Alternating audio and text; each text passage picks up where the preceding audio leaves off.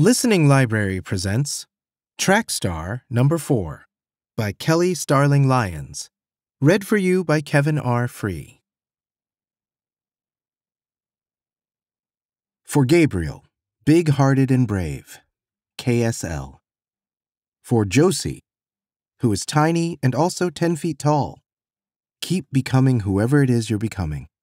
Oh, and when life gets muddy, remember to wear your boots. W.S. Chapter 1 On Your Mark. When our bus pulled up at Brookside Elementary, I saw teachers waving and grooving between bright signs. Go the distance.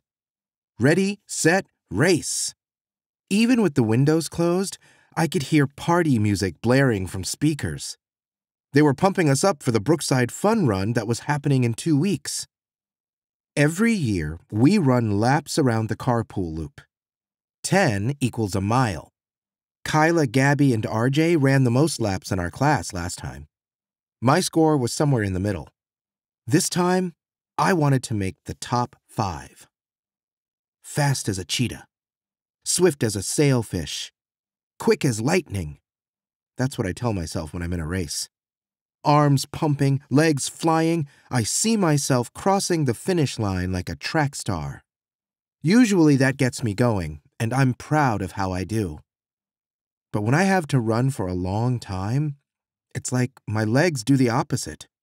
First, they're zooming, and then they're slow as a car about to run out of gas. Yes, my best friend RJ said as he jammed to the music. I'm definitely getting the most laps this year. Kyla, who was sitting in front of us, turned and smirked. We'll see about that, she said. RJ and I laughed. This was supposed to be all about fun, but for some kids it was all about bragging rights. People sponsor us, and we raise money for the school. Classes with the most laps win pizza parties. Kids who bring in the most money can earn passes to cool activities like mini golf and movies. Everyone slurps on popsicles when they finish running.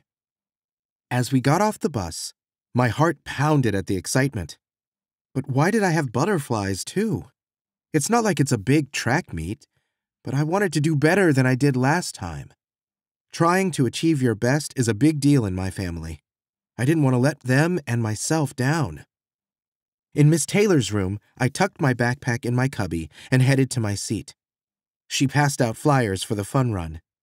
We slipped them into our take home folders.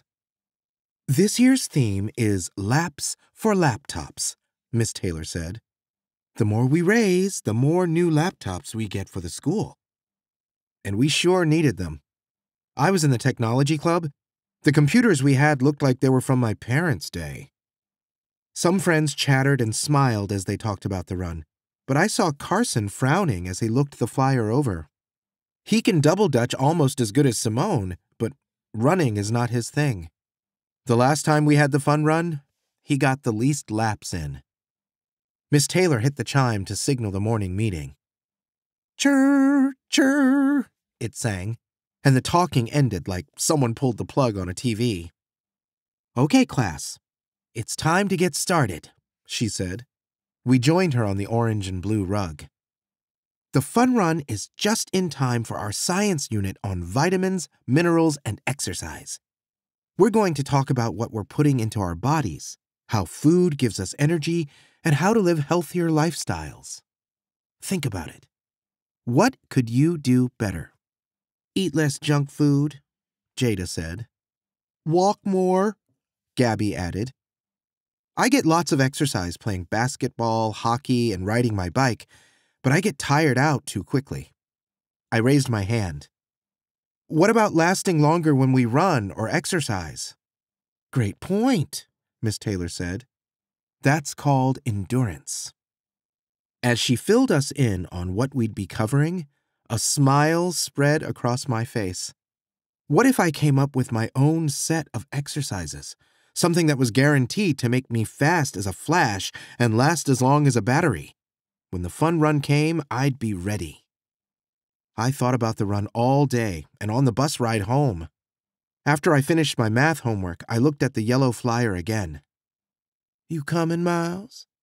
Nana asked as she tied her sneakers. I'd promised to go with her on a walk around the neighborhood. Time to put my plan into action. Coming! We stretched before getting started. I copied Nana's moves, rolling my head and shoulders, lunging to each side, reaching as high as I could, and then touching my toes. I feel nice and warmed up, she said. How about you? I nodded. Okey doke, let's go the long way this time. The long way? Uh oh. I knew the route Nana was talking about. It's all the way around the neighborhood, down to the grocery store and back. I took a breath and breathed out slowly. No turning back now. When we started walking, I did okay. I kept up with her, no problem. But then Nana picked up the pace. She was speed walking, her locks swishing as she zipped down the sidewalk. I huffed and struggled to match her stride. You're too young to conk out so quickly, she said, slowing down. You should come walking with me more. As I panted and tried to catch my breath, I knew she was right. I had a lot of work to do. If I got tired out walking with Nana, what chance did I have at the fun run? Chapter 2 Get Set For gym class the next day, Mr. Best took us outside to go through warm up stations. Each one had a sign listing a different exercise 30 jumping jacks, 15 squats, 10 torso twists, 5 push ups, and more. After we finish here, we're going to get in some running practice, he said. Is everybody ready? Yes, we cheered. The stations got me hyped. I hurried through them and shifted from foot to foot, trying to get out some of my nervous energy. I couldn't wait for the practice run to start.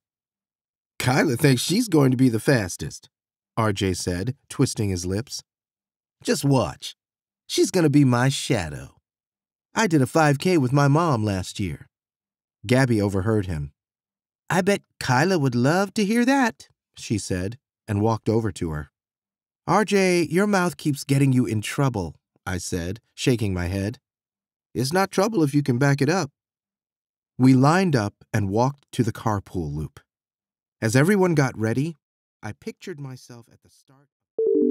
We hope you enjoyed this preview. To continue listening to this audiobook on Google Play Books, use the link in the video description.